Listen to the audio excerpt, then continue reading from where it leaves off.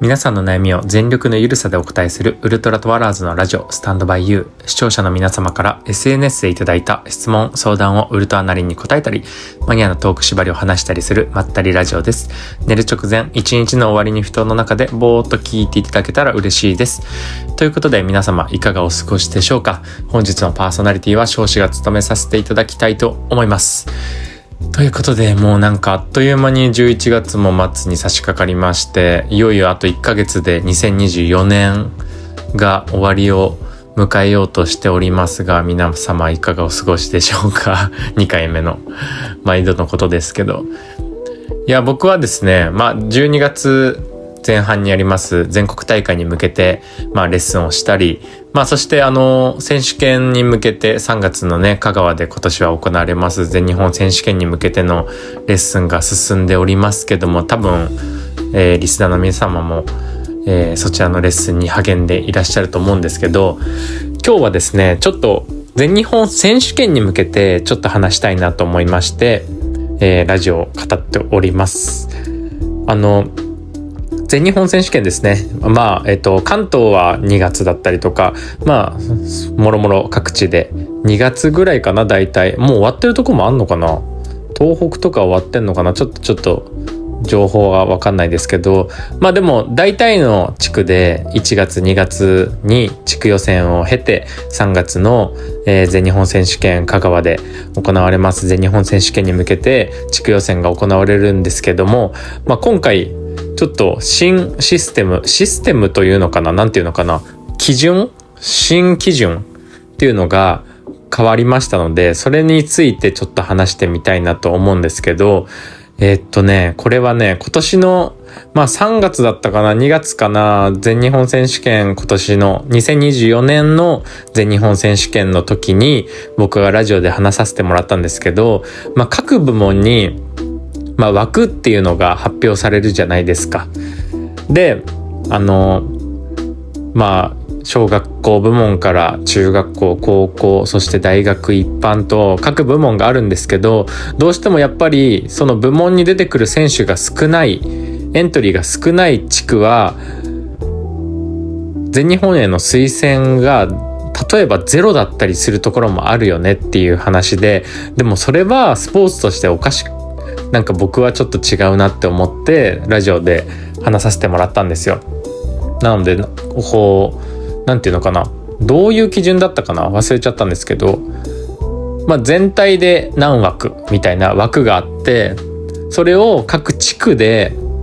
えっ、ー、と日本バトン協会から各地区に振り分けられて各地区が前年度のエントリー数を踏まえた上で枠を決めるっていう今までのやり方だったんですけど今年は、えー、さらにそこからまず各部門の1位の選手は全日本に無条件で出場できるという固定枠っていうのが作られたんですよね。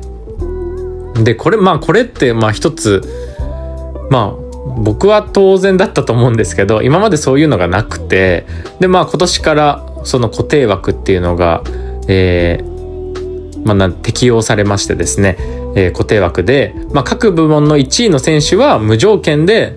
えー、全日本に出場できるという3月の全日本に進出できるっていう固定枠っていうのが、え、定められましたね。今回はそれが新しい審査基準になってましてまあこれはうん、なんか僕個人としてはまあ当たり前だなっていうことがまあどうなんだろう。ちょっと ちょっと調子に乗るとまあ僕が、僕たちがこうやって発信することによって、あ、そうだなって思ってくださったのか全然知らないですけど、まあなんかそうやって時代がちょっと変わってきて、まあ1位の選手は全日本に出場できるっていうシステムが今年から適用されます。なので、なんだろう、今までは1位でもいけなかった選手がいるんですけど、まあそれはおかしいよねっていうので、まあ1位の選手は出場できることになりました。で、まあ、それと、まあ、引き換えにって言ったらあれですけど、まあ、全体的な枠はちょっとね、少なくなってき、は来たんですけど、まあ、これがあるべき姿だなと思って、まあ、僕たちの声が届いたのか否かはよくわかんないですけど、なんかこうやって少しずつこう日本バトン協会も変わろうとしてるんだろうなっていうのをまあ感じ取れてすごくありがたいなと思っています。なので、こう、やっぱり各地区で1位の選手はね、やっぱり各地区で1位だから、それで全日本戦うのが筋だよねっていうので、まあ、他のスポーツでもそうだと思うんですけど、そういう流れになってきたのはすごく嬉しいなと思うので、今年の全日本選手権はそういう流れになりましたね、固定枠っていうのは。まあそういう意味で固定枠がついたので、すごく嬉しいなと思いつつ、まあ、それに伴ってその他の枠がちょっと減ったっていうのはあるんですけどでもまあこれがスポーツだと思うのですごくいいなと思うんですけどまあそう思いつつもう一つ僕ねちょっと懸念点があるんですよ懸念点っていうとあ日本語合ってるかわかんないんですけど夏にあの、まあ、日本代表選手権、日本、違う違う、えっ、と、世界選手権ですね。世界選手権。例えば今年、えっ、ー、と、次回だと IBTF インターナショナルカップっていう今まで位置づけられてた大会。まあ今年だとワールド、僕たちはワールドって言ってるんですけど、フリースタイルの、えー、世界大会あるんですけど、それの選考基準について、うん、なんかもっといい方法がないかなっていう、あの、気持ちはありますね。っていうのは、まあ正直言うと、日本の選手って、まあこれちょっと言うとあれなんですけど、どの選手が出ても、まあメダル圏内になれる、まあやっぱり本当にね、日本のたくさんの方々が頑張ってらっしゃるので、いろんなね、本当にレベルの高いところで競ってるので、どの選手が出ても本当に日本として戦えるんですけど、果たしてじゃあ日本以外の各国、海外のレベルがもっともっと上がった時にこの選考基準でいいのかなっていう懸念点はあるんですよね。っていうのがちょっとねどこの国か忘れちゃったんですけど他の確かヨーロッパだったと思うんですけどヨーロッパのに、えーと、と代表選手の基準って3大会ぐらいの得点を経てそれで最もえー、得点の平均的に得点の高かった選手をその国の代表の選手として世界選手権に向けて出場するって推薦枠を与えるっていう形をとってる国があるんですよね。でも日本はやっぱり3月の選考会一発勝負で、えー、そこで推薦されて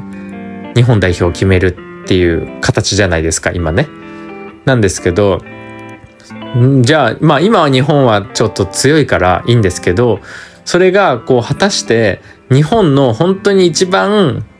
戦えるぞっていう選手を選べてるのか否かっていうところをはちょっと疑問があるんですよね。だからちょっとね、なんか大会案とか、なんかこうした方がいいんじゃないかなっていうプランはないんですけど、だからちょっと全然説得力ないんだけど、日本代表を選ぶっていう方法例えば、なんか各地区で、各地区に、うん、例えば、例えば関東に、二人のすごい選手がいたとして、でも、関東で1枠しかない。でも、世界的に見たら、二人とも素晴らしい選手っていうので、でも関東で1枠しかないから、その1枠で2人のうち1人しか選ばれないっていう選考基準になってしまうのは、ちょっとね、日本としてちょっともったいないなっていうところがあるんですよね。どうでしょう？僕はそういうところ思うんですよね。やっぱ本当にスペシャルスキルを持った選手が日本代表のトップとして戦うべきだと思うんですよね。なんだけど、やっぱり枠の関係で選考会にすら出れない選手っていうのがいるっていうのが、なんかちょっと今後心配だなっていうのが思うんですよね。これ伝わりますかね？うん。なんか、なんだろうな。だから例えばですけど、まあ、うん、なんか点数とかで何点以上の選手は無条件に日本代表選考会に進めるとかいう形にするのがいいのかわからないですけど、なんかそこが各地区で枠が決まってしまってるから、そこで本当に戦える選手がもしいたとして、そこで終わってしまうっていうのは、まあ今はいいんですけど、まあ今後長い目で見た時にどうなんだろうかなっていうのは思ったりするんですよね。なんかそこの選考基準だったり、まあ、今回全日本選手権はそうやって固定枠っていうのが出て、本当に1位の選手が出れるっていう形になったので、まあ、今度は日本代表を選ぶっていう、どうやって選んだら、本当に日本として一番日本の今、一番戦える選手を選ぶ、選べるかっていうところも、ちょっと考えていかないといかないかなって思うんですよね。ちょっと大会案とかはちょっとない、本当になくて申し訳なくて説得力ないんですけど、まあ今挙げるとしたらまあ得点ですね。何点以上の選手は絶対にその枠を超えて出場できて日本代表選考会で戦えるっていうのがいいと思うし、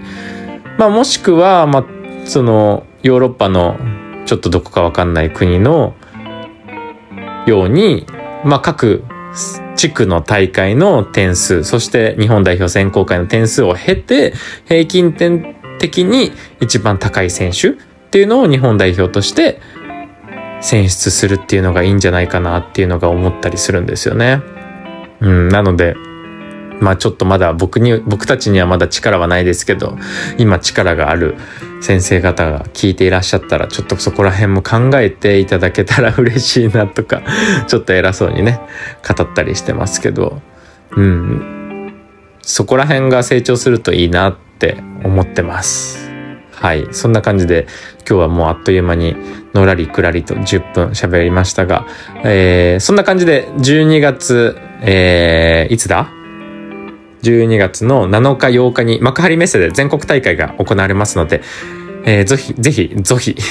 ぜひ、そちらの方も、あのー、前日の方にですね、僕たちの見どころ配信もさせていただきますので、ぜひ YouTube の方見ていただいて、えー、全国大会、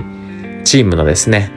えー、全国大会を楽しみに、そして楽しんでいただけたらなと思います。ということで、今回のラジオがいいなと思った方は高評価、そしてチャンネル登録して次回の動画、そしてラジオをお楽しみください。ここまでのお相手はウルトラドワーズ、ショシでした。